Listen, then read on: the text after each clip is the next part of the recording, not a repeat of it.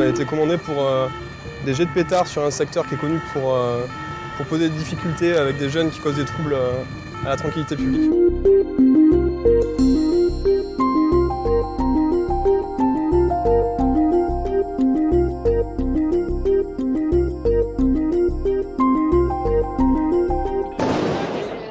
On est pris à partie par euh, des jeunes, ils jettent des tirs de mortier en tir tendu.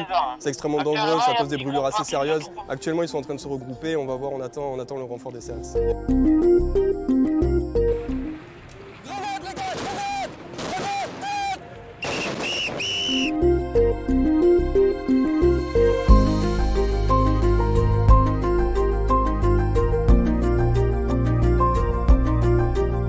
C'est vraiment les, occasions où ils se conditionnent, ils, achètent euh, des mortiers en nombre et ils nous informent d'ailleurs en avance que ce sera les représailles de l'année de contrôle. C'est vraiment le moment qui sert de défouloir pour, euh, pour ces jeunes.